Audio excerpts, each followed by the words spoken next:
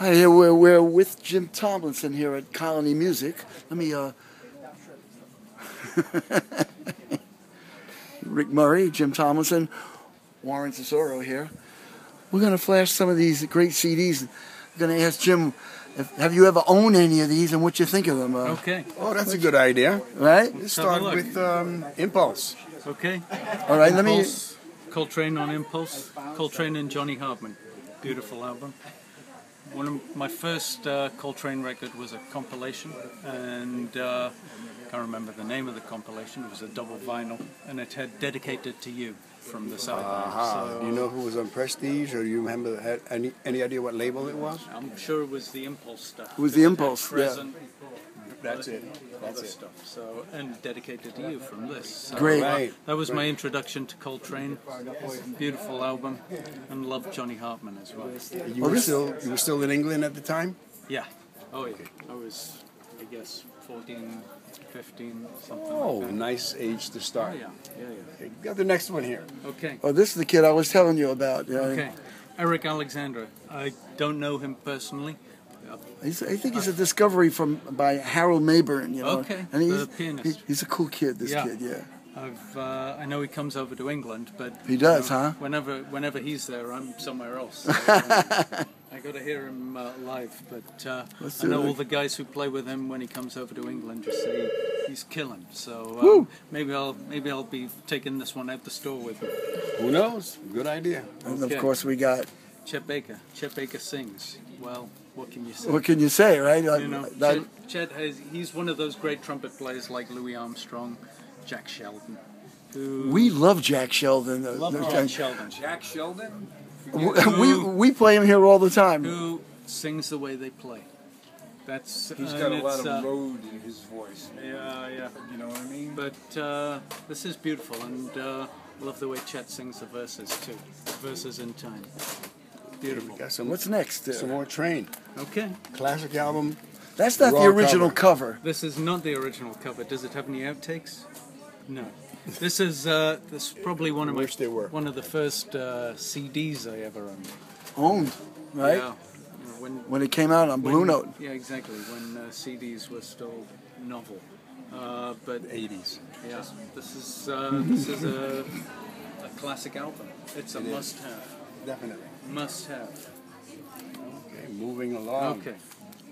The marathon sessions at Prestige. Yeah, working, relaxing, steaming, cooking, Right? uh, eating, sleeping, whatever.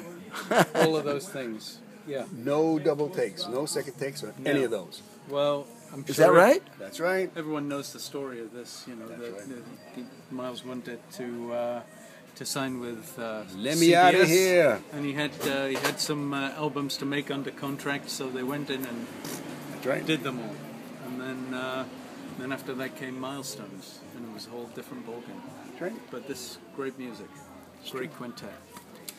What have we got up next? Paul Desmond. Paul Desmond, one of the first albums I ever had. Like most jazz, young jazz people, you, you kind of, even if you're not a jazz fan, you've heard Take Five. So I ended up with a Dave Brubeck album, and uh, Paul Desmond was one of my first models. As, uh, Very different sound from everyone else, right? Yeah. How Except did for Lee Konitz, you know. Oh, wow. Even different from Lee, I Lee- think. Lee, you know, right. Lee was kind of a little more. No, Paul's a little more fruity. I hear, Okay. yeah, I hear, I hear quite a lot of Johnny Hodges in Paul Desmond, and on the, uh, is it uh, Brubeck plays Ellington at Newport. Mm-hmm. Paul Desmond does make some homages to, to Johnny Hodges, that. And it's very, very natural. It doesn't sound like he's changed gear at all. You just hear, oh, okay, there's Hodges in there. Nice. I'd like to hear. So uh, this album, I don't know this album. It's Jim Hall. Okay, maybe I do know this album with a different cover. Possibly. Yeah. Beautiful. Mostly They all are ballads, right? Yeah, they're all And uh, as far as I know, and this may have been a gentleman's agreement or it may have been a contract thing, but Paul Desmond didn't record with other pianists in quartet format. oh, So all of his quartet albums are have a guitarist? with Jim Hall. Maybe Interesting. to- so that you know, I didn't know that. yeah. So See that? You learned something. We're going to jump gears slightly here. okay. Go to Brazil. This is the album. Am I right? Yes, Okay. right. If I wasn't going to be a jazz musician before I heard this album, I certainly was after I heard it. And, uh, this has got Yeah. You, come here. Want to hold this? Yes, it's in the drawer. Ten. it's in the drawer. It's in the drawer. Uh, this, to my mind, has got some of Getz's best work. It's the best marriage of improvising around a melody that that you hear in. I don't My Yeah. God, in those one- melodies. Oh yeah. Now you know the back in the twenties, back in the thirties, a lot of improvisers based their improvisations around the melody. That was kind of the natural way of doing it, extemporization. Um, and you know the style changed, and the improvisations got further away from the melodies as uh, as, as understanding of harmonic sequences evolved and so That's a nice but- way to think about it. From Yeah. the melodies deeper into the chord changes. yeah, and uh, this is one of those kind of albums where it's like you realize that it, it is possible to to combine the two. You know, to, to play the melody yet improvise in a very sophisticated way around it. And uh, so that's great about Getz, but then of course there's João Gilberto Phew. on here, who is the master of Right. Brazilian music, the great sambista, singer, guitar player. This, song, this album had a lot to do with introducing Brazilian music to America, actually. And uh, it's 50 years ago this year Wow. that uh, Jazz Samba was released with Oh. uh, Getz and Charlie Byrd.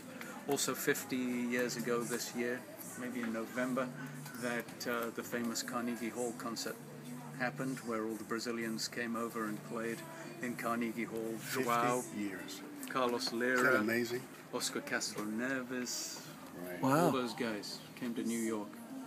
And uh, a lot of them stayed.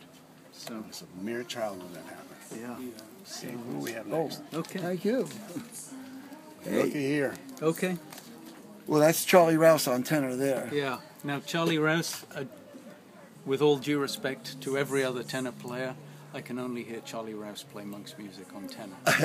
He's, it's, He's perfect, wasn't it he? was perfect. He's just, he is on tenor what, you know, what Monk is on piano. He's kind of pithy. He's got the same rhythmic feel. It just, Yeah. the whole thing just hangs together perfectly. So, that's that. What else we got? All right. Check that out. We were talking about Scott before. Okay. Scott Hamilton with strings. Yeah. I gotta gotta confess, not my favorite album of Scott's. And I love Scott. Right. Um, not quite sure why. I think I love Scott in a kind of free blowing situation. Right, I, I first heard Scott's music on an album that he made with Flip Phillips, Okay. maybe called The Claw, or they certainly did The Claw. So you feel maybe Phillips. that's a bit too contrived? Yeah, it's um, but you know, it's no disrespect to anyone because all the ingredients are there. All the ingredients are perfect. Alan Broadbent is an incredible musician, one of my favorite pianists. Great pianist and a great arranger. Um, with um, Charlie Haden a lot. yeah, Quartet West. So, um, so yeah, I have this album, and uh, what can I say? It's a beautiful album. But if I were to pick a Scott Hamilton album, I'd go for a quartet thing. So, that's it. Beautiful. Thank you so much. We're Well, back to the thank you. town. Okay. Yes. Okay. Love that. I'm Ric. Got to get back to work. Okay. And I'm Warren. I'm Jim, and I have nothing to do except hang out here and look at music CDs right now. So Not bad. That's good.